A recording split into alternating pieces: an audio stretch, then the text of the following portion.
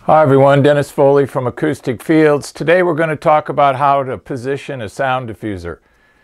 Uh, we all know that we prefer quadratic uh, diffusion here at Acoustic Fields because two reasons. It's predictable and it's consistent in its performance. So you can actually select the frequency response of the diffuser that you want to use uh, for that particular room position and, and that's what we're going to talk about a little bit today. So how to position a sound diffuser within your room. Let's uh, stay with our quadratic because with quadratic we have vertical and horizontal diffusion capabilities. If the diffuser is vertically placed, we know that it diffuses sound horizontally. We know there's an inverse relationship there. If it's horizontally placed, we know it diffuses vertically. So we have two out of how many? Three possible dimensions of sound within our room. So it's a pretty powerful tool if you think about it. So what are we going to do with diffusers in our room and uh, distances? What, what diffuser goes where? Where do you put it on what wall? And uh, let's try to answer some of those questions. We always have to get back to usage. What is the usage of the room? Because every room's usage determines the positions of the diffusers. Control rooms are different than critical listening rooms. Critical listening rooms are different than voice and live rooms. And all of those rooms are vastly different than home theater. So first thing we have to do is look at usage. What is the usage of the room? And that'll tell us where, what kind of diffusers to use and where to put them. We'll get to that a little bit later, but let's just get to some basic rules about diffusion and um, in terms of distances, and I think that'll help us understand. Here's a prime 13 diffuser. Remember, it's prime 13, so it has 12 wells, always has one well less than uh, the, the prime number indicates.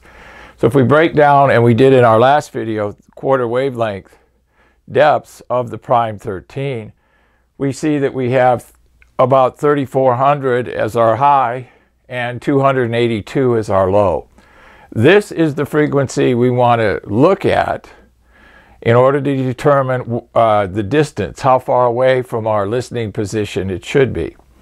So this is the, the key factor here in diffusers. What's the lowest frequency the diffuser diffuses?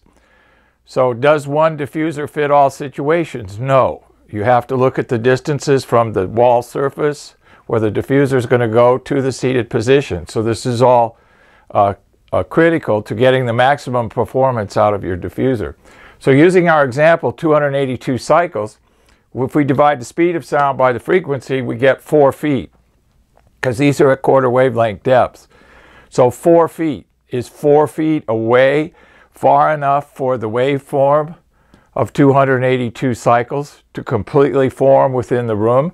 We know that all frequencies above that will be fully formed if we get 282 figured out. So is the four foot distance, is that enough to uh, uh, really realize the full impact of the fuser?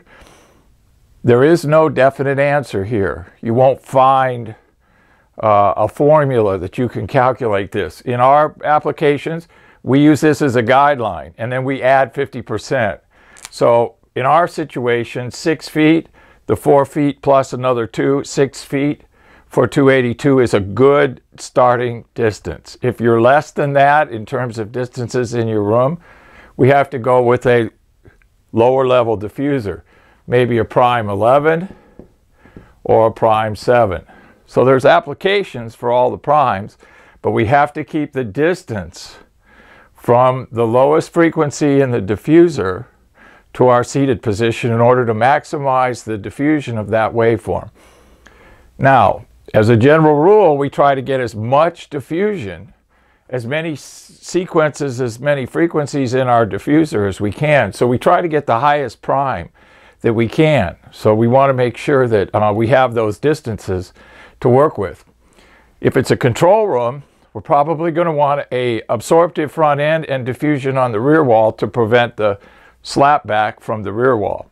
Home theaters, probably front and rear, maybe just ceiling. It depends on the number of channels, okay?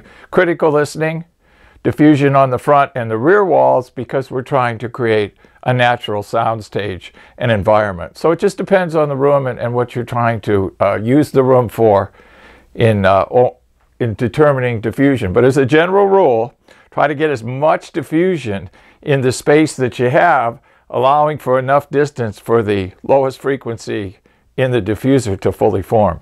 And we use the, the distance of the, the wavelength plus another 50% in, in our calculation. It seems to work really well. We don't get any uh, distortions or uh, any anomalies at, at, all. Hope you enjoyed so, today's video. If you did, give me a thumbs up so I know that it had value to you. And please, if you have any questions, leave them in the comment section and I'll be more than happy to answer them for you. Alternatively, if there are other topics that you wish to discuss, discuss or see discussed in a video presentation, send me a, an email, info at acousticfields.com, and uh, we'll get them on our list and, and, get them done for you.